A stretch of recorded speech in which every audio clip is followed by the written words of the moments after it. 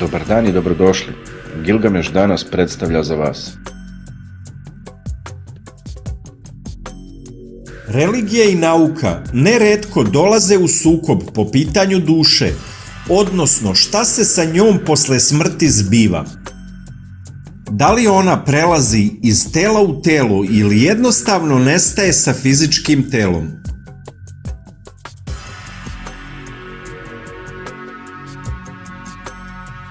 Po nekoj definiciji reinkarnacija bi bila verovanje po kome se nakon smrti duša ponovo vraća u zemaljsko telo.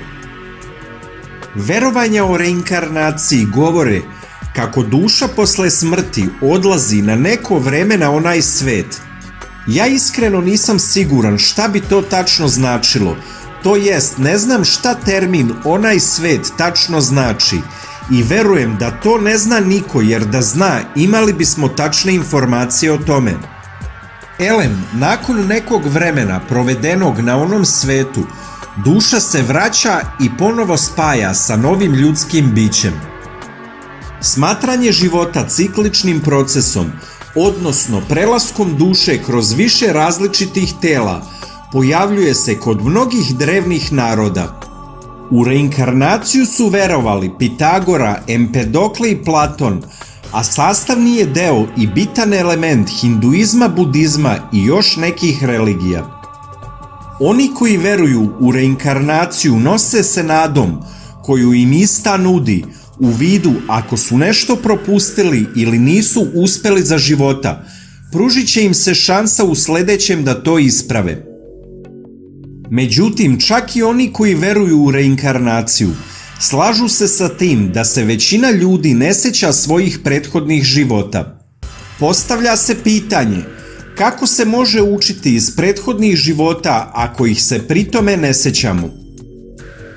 Da li ste možda jedan od onih kojima se dogodilo da kada nekoga pogledate u oči po prvi put, imate osjećaj da ga poznajete?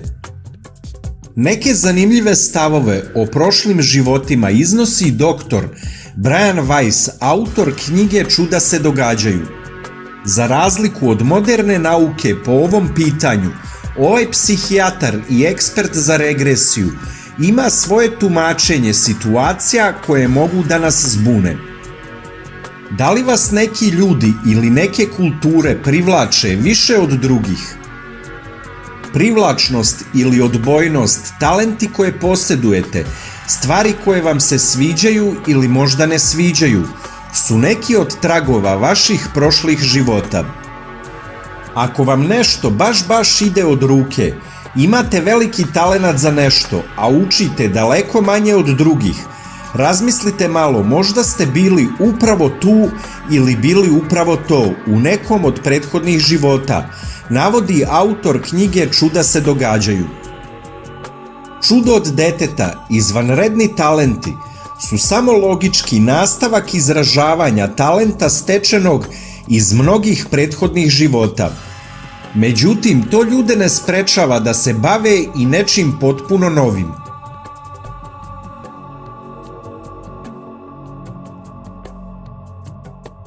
Česta je pojava da se putovanja kroz različite živote događaju sa istim dušama, do duše u različitim odnosima. Ja ih nazivam grupom srodnih duša, navodi autor već pomenute knjige. Možda se odnosi i veze menjaju iz jednog života u drugi, međutim duše su iste. Primera radi, vaš sutra potomak, na primer vaš unuk ili unuka, u ovom životu može imati dušu vaše prabake. Gledajući ovako na celu stvar, ispada da mi u stvari voljene osobe ne gubimo, već se sa njima pre ili kasnije ponovo i iznova srećemo do duše u drugom telu. U slučaju jedne pacijentkinje koja je majku izgubila još kao mala, otkrili smo da su njih dve bile zajedno još iz perioda pre srednjeg veka, objašnjava dr. Weiss. Doktor objašnjava da sa bliskim dušama, starim dušama oko nas ne moramo biti u harmoničnim odnosima.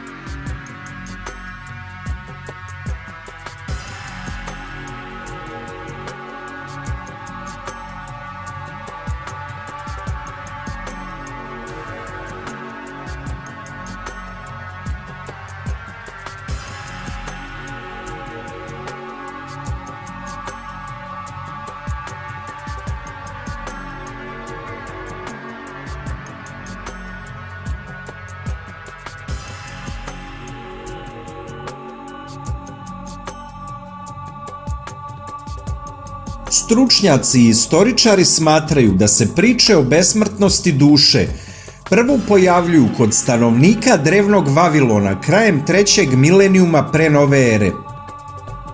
Pitanja besmrtnosti bila su predmet pažnje vavilonskih teologa.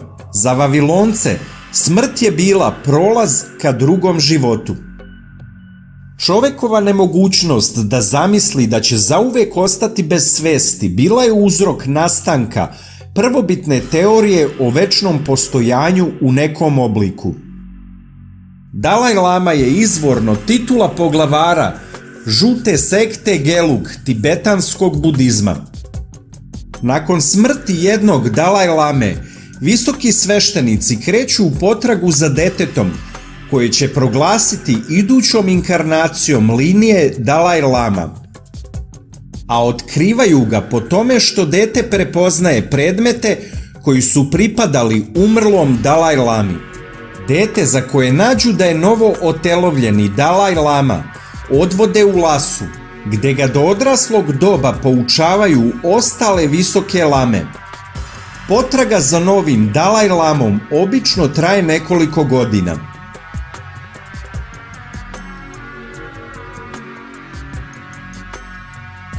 U reinkarnaciju veruju hinduisti, budisti, pristalice različitih filozofija i istočnjački obojenih religija. Stotine miliona ljudi veruje u reinkarnaciju.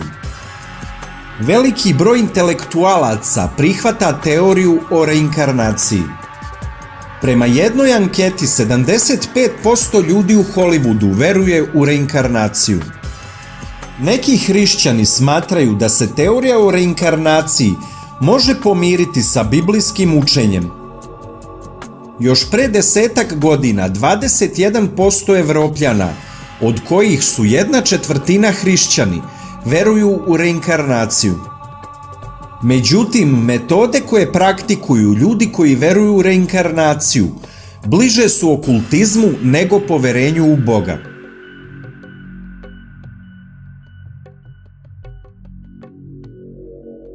Karma je jedna od bitnih stavki vezanih za reinkarnaciju.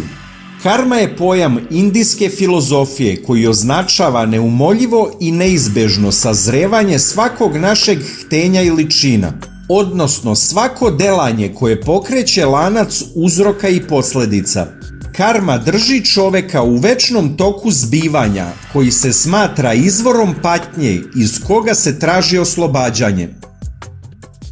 Po nekoj mojoj laičkoj logici, kakvi budete za života, dobri, pošteni, darežljivi, puni ljubavi ili možda loši, zli, lopov, ubica, čovek koji zlostavlja na bilo koji način druge, to će se reflektovati na vaš sledeći život, odnosno pratit će vas dobra ili loša karma.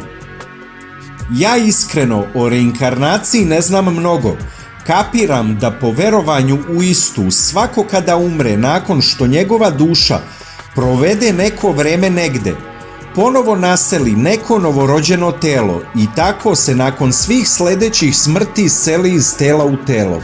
Nije mi najjasnije koji je početni i završni život po tim verovanjima, ili se on nikada ne završava nego tako kruži u nedogled. Ispada da onda genetika i fizičko telo ne predstavljaju ništa, jer su manje više nebitni, to jest fizičko telo mu ga dođe samo kao odelo za dušu. Realno, sve bi to bilo super da je tako. Bolesne ljude bi bilo baš briga što su bolesni. Šta ima veze, umrem i sutra se probudim u nekom drugom. Međutim, da li je to sve tako? Da li ljudi koji veruju u reinkarnaciju imaju strah od smrti? Zašto se ljudi ne sećaju prethodnih života? Da li prelazak duše u drugo telo znači i nastanak potpuno nove svesti, pa se zato ne sećamo prethodnih života, ili je reinkarnacija samo puko verovanje i nema nikakve veze sa realnošću? Da li vi verujete u reinkarnaciju, da ste već živeli i da ćete živeti opet. Podržite nas klikom na like i prijavljivanjem na kanal ako to već niste uradili i budite među prvima koji će vidjeti zanimljivi, obrazovni ili misteriozni videoklip koji budemo postavili. Hvala vam na podršci.